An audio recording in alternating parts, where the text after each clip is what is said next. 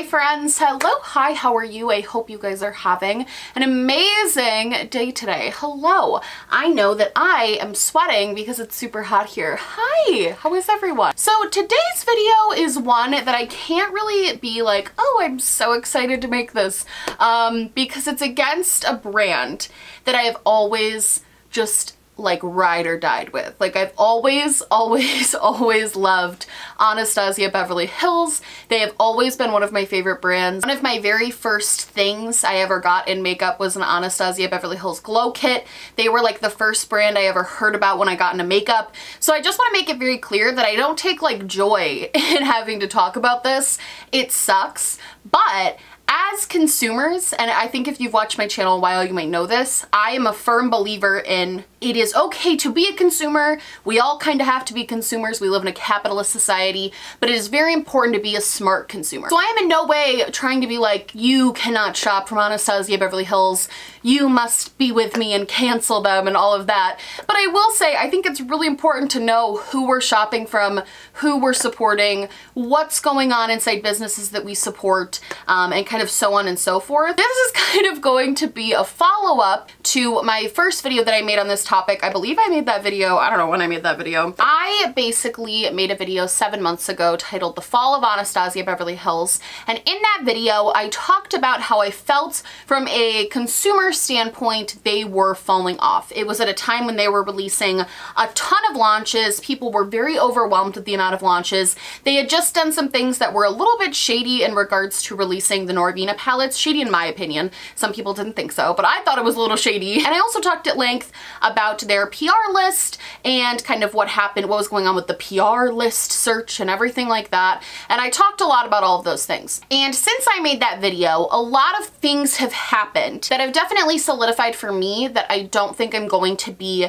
supporting the brand as it stands now because too many shady things are coming out. Too many people are coming forward with stories that just show something is not okay internally with the brand. This isn't even about the products they're putting out. And I want to talk about it. So the first thing I do want to talk about is the PR list. And I know this is a little bit of like old tea, but I still think it's important to talk about. It's something to mention. So in my last video where I discussed this, I talked about the PR search that they did. Basically, Norvina tweeted out that if you wanted to be on the ABH PR list, to tweet her your looks and she would consider putting you on the PR list. She was going to be searching for people. I think she said she was going to put like 200 names on or something like that.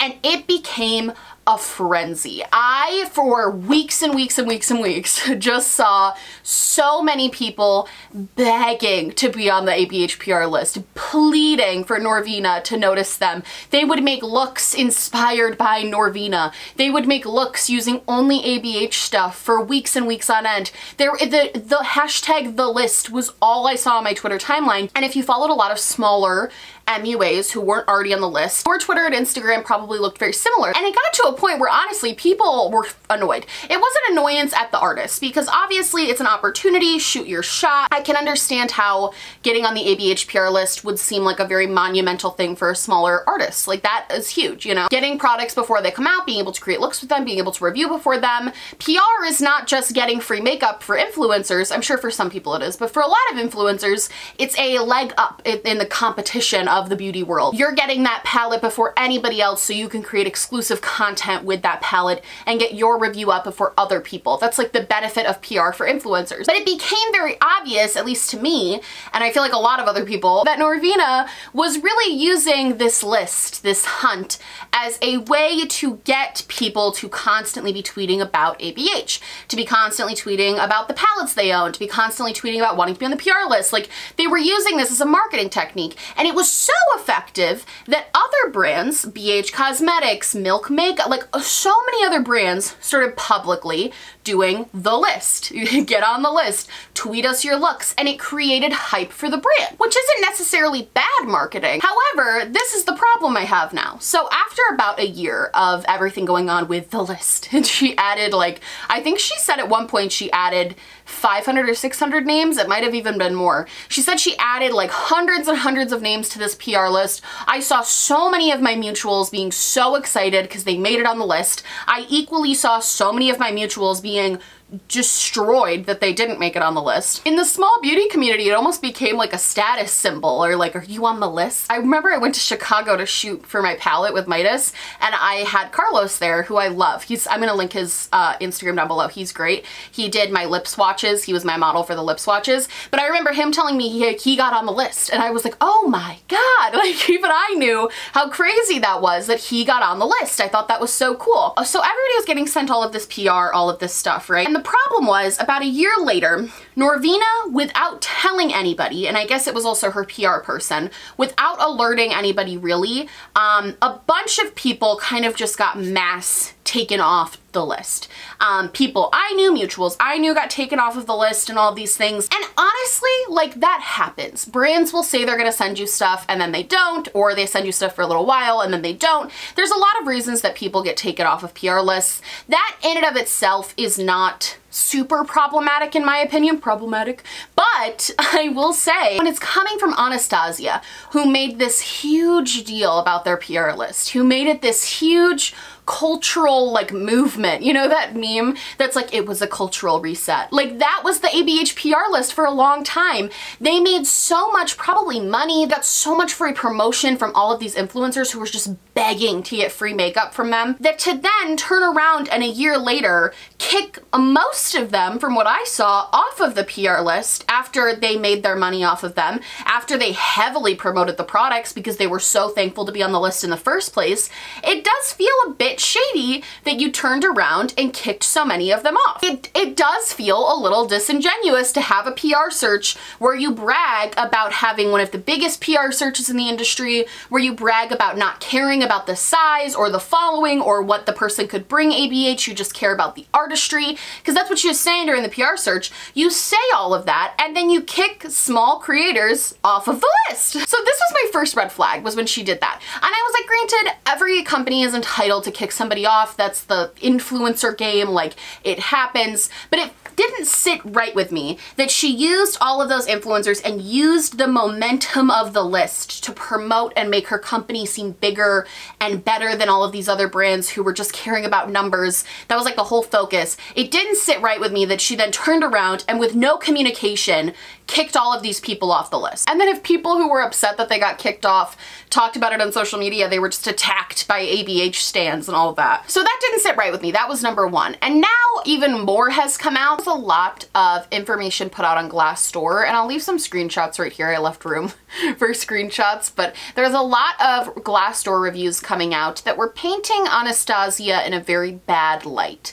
Um, and it was multiple people leaving multiple different reviews and all of them had similar experiences. So if this was just like one person saying this stuff, I wouldn't be like, oh, gotcha, but it was multiple people sharing multiple experiences. Some of what they said, which one of the weirder ones to me, this is just weird, was that they base their business dealings on astrological signs and astrological readings. So for example, if Mercury is in retrograde, um, they won't like partake in a business deal or launch things. They basically scope out their entire year based on astrological stuff, which is, honestly, I know some people really believe in that stuff, but to base your company around that just is incredibly unprofessional in my opinion. They also were saying that uh, Norvina hires people based on appearances and how they look. Didn't hire certain people because she thought they were too pretty. And then she did hire people and then specifically told them I won't hire pretty people, which is a huge slap in the face. They also said she's incredibly unprofessional and difficult to work with, uh, that she really only hires men, just a lot of different things like that. And Norvina's response to this was that the girl who had written the review, one of the girls, was an ex-girlfriend of the guy she's currently dating. She had been an ex-girlfriend, like they were they dated in high school. And so that's why she was leaving this bad review. And she had hired her out of the goodness of her heart, but like she was leaving this bad bad review because she dated her boyfriend, her current boyfriend in high school. That's so weird. What a weird way to de deflect criticism. Like what a weird way to be like, "Oh, she dated my boyfriend 15 years ago. So that means she must be out to get me and my company now. What a strange, strange way to defend something. And then she also basically said the other girl that was saying this was a liar. And that girl publicly tweeted at her and was like, I am not lying. You told me to my face that you don't hire pretty people because you don't want it to distract from the boys. And everything I said in my review is true. So I saw all of this and I was like, well, that's super, super weird. And overall on Glassdoor, I think it's important to note they only have like a 2.4 star rating, which is really bad. That's a lot of, out of 71 reviews, a lot of people have to leave you a bad rating to get to a 2.4 approval rating. So all of that was also really weird. And, and I'm starting to see things about Anastasia and I'm just like, this is really weird. It's weird that there's so many accusations of the CEO being not a great person. It's weird that she did this whole PR thing and now she took everybody off. It's weird that she was shutting down and kind of dissing smaller creators who were upset about being taken off of the PR list everything around them just felt weird. A creator who I followed for a long time named Taj Reed basically posted her entire story and experience with Anastasia Beverly Hills on her Instagram. I didn't know that Taj had talked about this earlier in the year on her Instagram stories. I don't, I hadn't seen that. So this was the first time I'd really heard her speaking out against ABH. But I did remember that back in, I believe, October of 2019, I remember Norvina announcing that Taj was going to be ABH's first ever content creator creator. And I didn't really know what that meant, but I was like, oh, good for her, because I love her makeup. I think she does a great job. I follow her on TikTok. I was like, I'm gonna link Taj below. I love her. And I was like, Taj is great. Like, that's fantastic. Really happy for her. She's super talented. So I saw that, and then it kind of just left my mind. Never thought about it again until I saw this. So Taj posted her entire statement regarding everything. I will absolutely put screenshots here if you want to pause and read. I don't want to read the entire statement because it is very long, but I will say the brief summary of it is basically that Taj had talked to Jackie Aina about needing work and kind of put out feelers of if there were any brands that were kind of looking for content creators or looking for people to work full time. And Jackie Aina put in a good word for her with Anastasia Beverly Hills. Norvina reached out to her and Taj made it very clear that she wanted full-time work. She was looking to be paid this amount per post. She said her rate was, I believe, $970 per post, so about $1,000 a post, which given her size, I think it's really reasonable. She has just over 100,000 on Instagram and her engagement is really great, so I don't think that's unreasonable. She said Norvina agreed to those terms, agreed to $1,000 a post, and also agreed to give her a full-time job.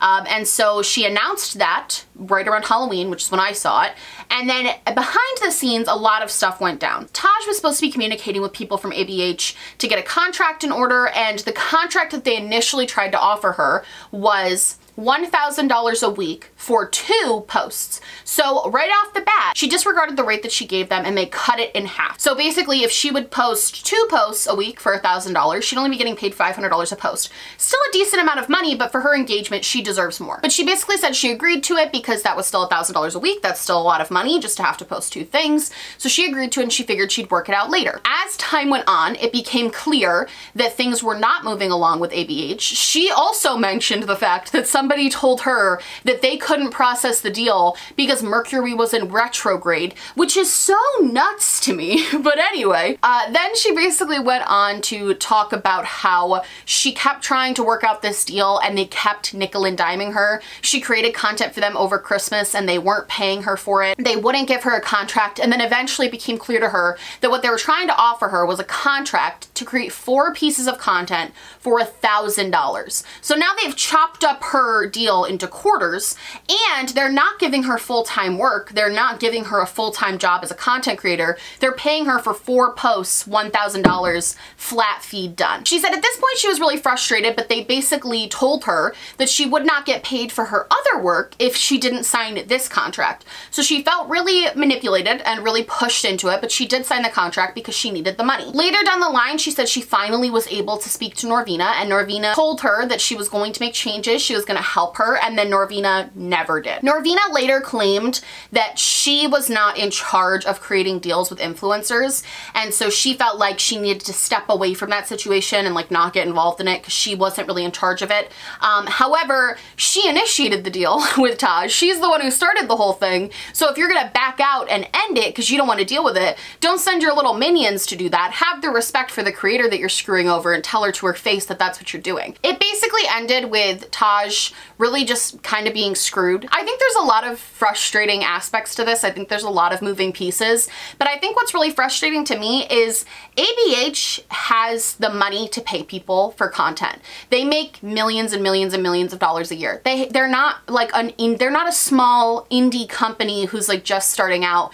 They have money to pay content creators, but they're resorting to nickel and diming small creators who specifically expressed that they needed cash and needed a full-time job, manipulating them into creating content for them that they're not going to pay them their full rate for, knowing that they're doing that because there's evidence of it, and also doing things like what I mentioned before with the PR list, where they got people to post all of this free content for them in exchange for a, a PR box that cost them nothing to send in reality. Taj also went on to say that Norvina did reach out to her after she posted that Instagram, and it basically Norvina said in that, you signed the contract, which she was manipulated into doing so. I don't know how that's not obvious, how like a massive brand is threatening not to give you your money if you don't sign this contract. And Taj also made the claim that ABH has made people start signing NDAs in order to work for them or work with them. Um, I don't know if that's true, but I believe her. I think she has a real ring of truth around her that I just kind of believe what she's saying. And also Norvina didn't deny that in the text messages. She showed text messages between Norvina. Norvina basically was like, if you want to work with ABH, like we'll take care of you. Um, but it was pretty obvious that that would not be a comfortable work environment for her. Pretty obvious that that would be kind of hostile for her. So she has basically cut all ties with ABH now, is not going to work with them anymore, and it's just basically said I'm done with it. I'm really happy to see Taj getting so much support from the community, so much support from people echoing her experiences, because now we're seeing more and more people come forward saying, I had a similar experience with them. They did something shady with my payment too. Like we're seeing more and more things come forward about this, and it just doesn't sit right with me. I don't know, something about a brand that's like a multi-million dollar brand not paying creators what they're worth when they so easily could, trying to tell the beauty community that they don't care about numbers, they'll support anyone just for the artistry. It doesn't sit right with me.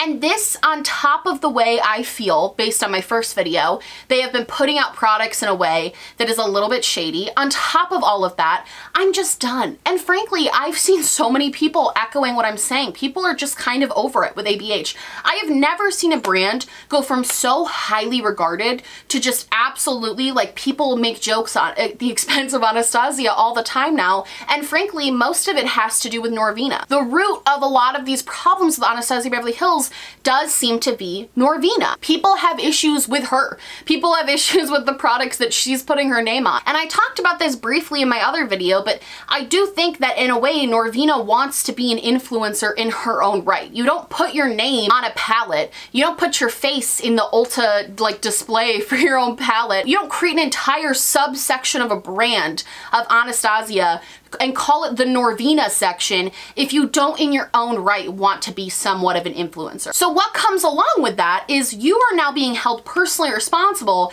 and accountable for what happens because your name and your face and your likeness is now a major part of the brand. I personally can't support a major part of the brand like Norvina. I personally just can't support that. All of the things I'm hearing, all of the things that are being said, I can't support it. I'm not saying you shouldn't, I'm not saying you can't. I think it's important to know who's in charge of these companies and what they're doing behind the scenes. I gonna be really interested to hear what you guys have to say because I, I don't know. I don't know where to stand on them anymore, but I think I'm just over it. There's so many other brands now that are good. It's like you don't need to support a brand where the owner is doing things that are very obviously really shady and not supporting people actually. She also got a fight, this is a complete side tangent, but she also got a fight with Neon MUA, who is a fantastic artist on Twitter and Instagram. 10 out of 10 will link him down below too. But she got in a fight with him trying to say that her brand was inclusive when he, as a black man in makeup, was saying it's not inclusive. I don't find your makeup to be inclusive. And she was trying to argue with him, the person who would be using it, that it was, instead of just listening to his voice and saying, yeah, you would probably know better than me. As a black man, you would probably know better than me, a white woman, what inclusivity means. I don't know. but anyway, that's it for me, you guys. I love you guys so much. If you like this video, please like and subscribe or just like or just subscribe or do neither. Honestly, just so happy you're watching me. Thank you so much for being here. My merch, my social media, and everything I'm wearing on my face will be linked down below along with a link to register to vote. That's right. You can click on that link. You can register to vote. And you can be part of your democracy. It's super fun to do. Along with that will be my little social justice corner where I talk about petitions that you should sign, places to donate, just things that I think are really important. I've had Breonna Taylor down there for a long time, and that's really just because I'm pissed about that whole situation. So if you want to read about it, if you want to learn about it, that is down below. Um, I love you guys so much, and I will see you in the next one. Bye!